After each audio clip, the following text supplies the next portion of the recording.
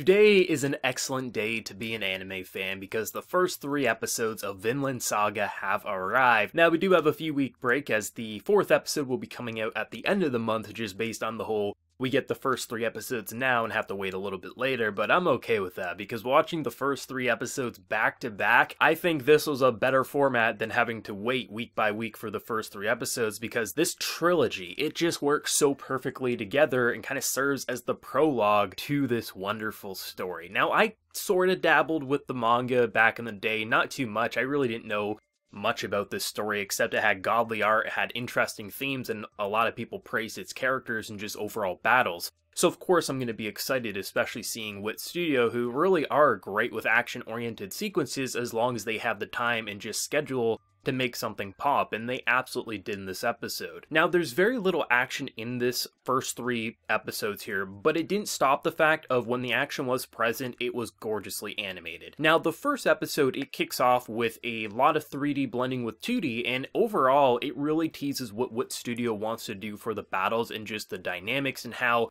it's going to be more than just 2D objects clashing with each other. The way they were blending 3D camera work, it just was so beautiful to see just the speed, and it really felt as if we were a soldier running through these ships, killing people left and right, and it felt like a real battle taking place. Something a lot of times anime scenes don't get right is when they have a group of large characters, you know, hundreds of characters killing each other, it's not just really one character slashing at each other for five minutes straight. It really will just be someone stab someone and they move on to the next person. And the way that intro really played out, it felt as if we were a character, a seasoned warrior who was just going from person to person and the way the camera would follow him, it was very awesome just to see how they were just really getting us into the atmosphere. The only thing that was negative about the 3D is when they pulled away in the intro of episode 1, you could see a lot of 3D objects in the background fighting each other, and that looked a little wonky, but where it counted, it was absolutely gorgeous. But the thing that made the first three episodes of Vinland Saga really pop for me, it wasn't even that it had great action or something like that. It's the setting and the characters. Vikings and just a new world order, you know, basically countries are conquering others and basically trying to get their lands situated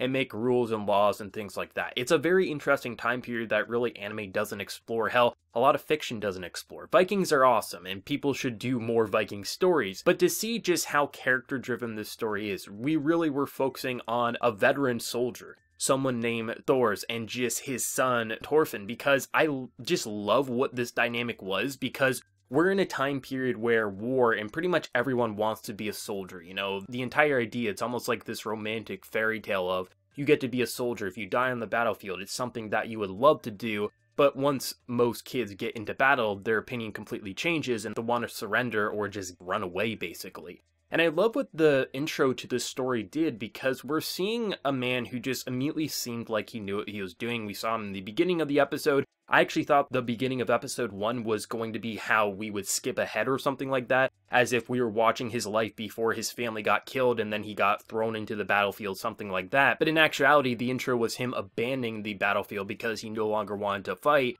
and he had something that he valued more than just killing, and that was his family. And I think it was pretty interesting watching the first three episodes play out because you're getting this scope of just you feel as if everyone in this village they want to fight or they just believe like running away is a bad thing. And one of our central characters whether he lives throughout the story or not remains to be seen. But as of right now he's the head warrior the head man in charge and we're watching someone who basically did run away and doesn't see anything wrong with that, as if fighting isn't the answer and you shouldn't want to kill, you shouldn't have enemies that goes against human nature, and it was pretty interesting just seeing how he was almost kind of contrasting this entire world, it seemed like, where it is driven by war. It is you kill your enemies and you know you party, you have women, and it just felt like a very just brutal time period where one of our central characters was seemingly just you know he had the skills to do it, but just wanted to play blacksmith. He wanted to play family man. Hell, in this episode, he frees a slave that was going to die. A slave runs away, and instead of giving him back, he gives him eight sheep for this man who was just going to die minutes later because he doesn't want people to suffer. It really gives you a sense of his character and just who he represents, and I thought he was a really respectable character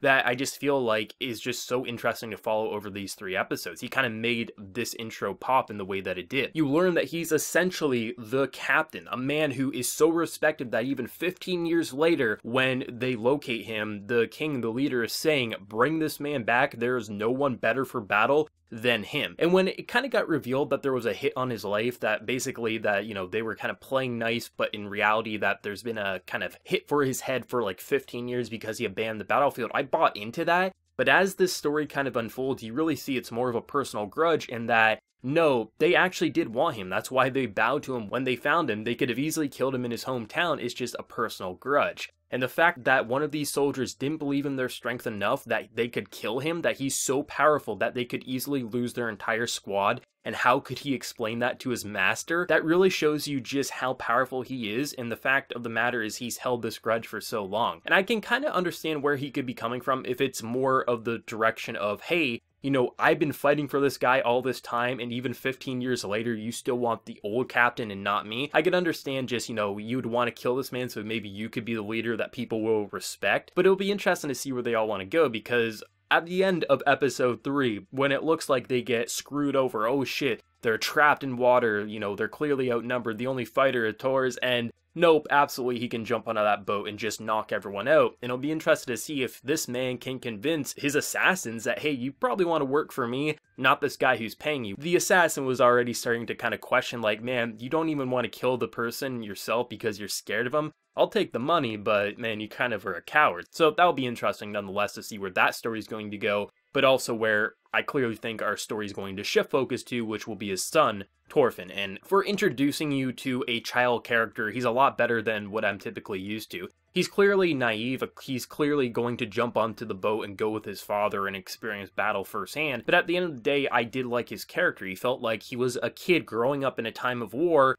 where he's kind of being sheltered away from war, but just believes that fighting is an honorable thing. And I think they really sold one of our future main characters exceptionally well. And just the overall theme and just atmosphere to this show is immediately different than pretty much everything you're going to watch, not only just this year, but pretty much across anime in general. Because not only is it a beautiful landscape you see ice, you see just grassy fields, it feels as if this is a massive world, but it's also a massive world being turned upside down by people conquering and taking it for themselves. And can you kind of find your own separate piece of land that will be avoided of just war and things like that? And the answer is no, war will always find its way to your shores one way or another, and how do you kind of deal with that? And in a time period such as this, where it is Vikings, it is pillaging, it is just horrible things and how do you deal with that, especially for a man who is as skilled as Thors, and just how can you absolutely push back against that? Well, you get roped back in. Overall, I think this was definitely my favorite anime of the season so far. We get the first three episodes, so maybe it's a little unfair because most series have only had their first episode. Hell, not every anime has aired their first episode yet, but I can tell that this will probably be my anime of the season. I know what I like, I know what I'm really interested in for characters, and the fact of the matter is these characters feel human. There's so many simple comedy moments throughout this episode, you know, she has a daughter and how a lot of the people in this kind of area like her because you know, she's probably one of the few who they could even potentially marry. And I just like the overall dynamics with her because she's pretty much someone who's just like, she recognizes what's going on, but just like, hey, can you just go find someone else? I'm just too tired for this. There's a lot of simple moments throughout this episode that just felt like genuine comedy that didn't feel artificial or anime design like, hey, we're going to give you an anime over the top reaction and that's supposed to make you laugh. No, it's just the general banter that was naturally funny and it didn't take away from the serious atmosphere. This is something that naturally feels like real world, but in a time period we don't get to experience. So it doesn't feel as boring as real world as we wake up and go about our day to day lives, it feels as if something pulled from history and just how people would naturally act in this time period, both the people for war and completely against it. And I think in terms of really selling you not only on the world at hand, the politics, and just the overall scope to these battles and how it's going to evolve, I think they did an excellent job. But the reason this episode was so exciting was that the characters were excellent across the board. Even the characters who were doing questionable things like buying slaves or just keeping slaves, if you break the order, some of these people will absolutely kill their men or even just wound their men very brutally, no questions asked, because the laws are to be obeyed. It's interesting how you just immediately got a sense of personality, and even if they were doing questionable things that you personally disagreed with, you at least got a sense of their character and why they believe in just what they're doing even if you can't remember their name or you didn't even get their name, you immediately get a sense of identity for these characters, which is incredibly important. The presentation is great. I love all the character designs. A lot of times when you have something set more in the past, it feels as if a lot of anime just designs, they feel like almost like they're too modern in a way. They shipped up their clothing, of course, but it just feels like their face structures and body structures. It's like, man, you could probably just put them into high school and it wouldn't even feel any different.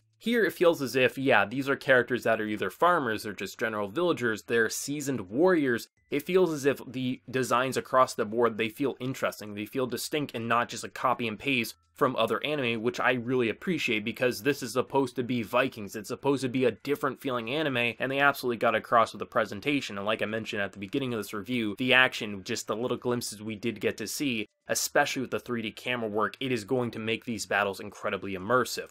I have to say, the opening and endings, favorite songs of this season. I love the opening, especially near the end of the opening. Just that scream and just the aggression. It gets you hype. It starts off a little mellow and you're like, okay, I'm getting into this Viking story. And by the time the opening ends, you're immediately just ready to just sail the high seas and fight and kick some ass. And that's, it's just great. I love this show across the board. There's a couple of piano tracks throughout this episode in the more emotional driven scenes, and they really got across. It didn't feel like just some random kind of created piano track to make you tear up or something like that. No, it felt like it was perfectly crafted and matched the atmosphere at hand. This was incredible. Incredible intro, and I'm so glad we got the first three episodes because you wouldn't want to really wait week by week. I can easily watch this show weekly, and I am going to do that for onwards, but this felt like a really interesting prologue, just the intro to the story in the world, and you wanted to get to know these characters at a rapid succession, so I'm glad the deal was made to do it like this, because this was a great intro and is going to hook pretty much everyone who watches Vinland Saga. It's a very popular manga, but for those like me who maybe avoided it for all this time, we're going to be hooked, no question asked. I thought this was incredible, easily my favorite just anime of the season at this point in time, and probably will be my favorite anime by the time summer wraps up. But let me know, Mog Anime Originals, what did you think of the first three episodes of Vinland Saga? Favorite moment, favorite character? Let me know. And Be sure to like the video if you did enjoy, and also hit that subscribe button if you have been new. So until next time, everyone, please take care and have a good one.